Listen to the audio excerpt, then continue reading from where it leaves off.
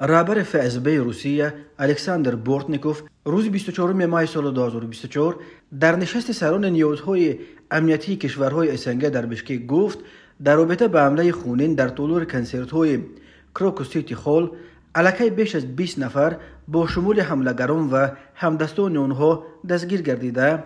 همچنین معین کرده شد که هماهنگسازان این حمله از گروه تندرو ولایت خراسان دویش بوده از قلمرو افغانستان و پاکستان амал мекарданд. Дар ҳоли ҳозир мо тамоми доираҳои дахил дар ин амлаи мудҳишро муайян карда истодаем. Аллакай беш аз бист нафар аз ҷумла омилони бевоситаи амла ва шарикони онҳо дастгир шудаанд изҳор дошт бортников ӯ таъкид кард ки як ҳадафи фармоишгарони ҳамлаи террористӣ латма задан ба равобити кишварҳои снг бо кӯмаки омилҳои диниву миллӣ буд раҳбари фсб ҳамчунин хабар дод ки амалҳои террористҳоро аъзои гурӯҳи тунрави вилояти хоросон шӯхаи шарқии созмони террористии доиш ҳамоҳанг мекарданд. Бортников дар ин робита гуфт муайян карда шуд ки корҳои тайёрӣ маблағгузорӣ ҳамла ва роҳҳои ферори террористҳоро тавассути интернет аъзои гурӯҳи вилояти хоросон ки дар минтақаи афғонистону покистон қарор доштанд ҳамоҳанг месохтанд. Ду нафар аз чор иштирокчии ҳамла قبل از انجام حمله از ترکیه به روسیه آمده بودند. منظور او غالبا فریدون شمسدین و سید اکرم رجب زاده دو تن از چهار متهم اساسی بود که در پایان ماه ینور سال 2024 با دو پرواز مختلف از مسکو به استانبول رفته در اول ماه مارت این دفعه در یک هواپیما به مسکو برگشتند. باور می رود که آنها به ترکیه یا از طریق آن کشور برای تمرین به یگان اردوگاه داعش رفته بودند.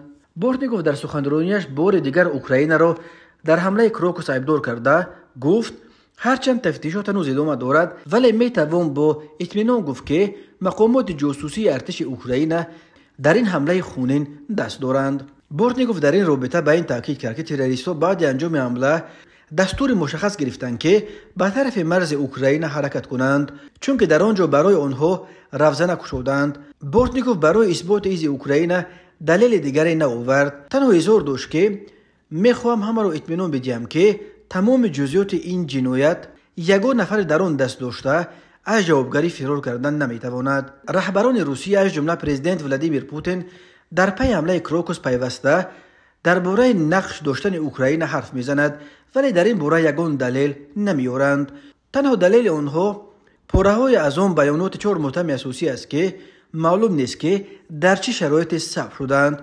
اوکراین دست داشتن در این حمله را قطعا رد می کند یادآور می شویم شام 22 مارس سال 2022 افراد مسلح قبل از کنسرت گروه موسیقی روکی پیکنیک وارد تولور کنسرت های کروک سیتی خول در کرسنگور شدند. ازدهام را تیرباران کردند. این حمله 145 کشته به جا گذاشت. بر اثر این تیرباران 40 نفر کشته شده 105 نفر دیگر در سوختوری که بنور و فرو گرفت جون خود را از دست دادند. مقامات روسیه می‌گویند همه آن چهار نفر مسلحی که وارد بنا شدند و مردم را تیرباران کردند از تاجیکستانند.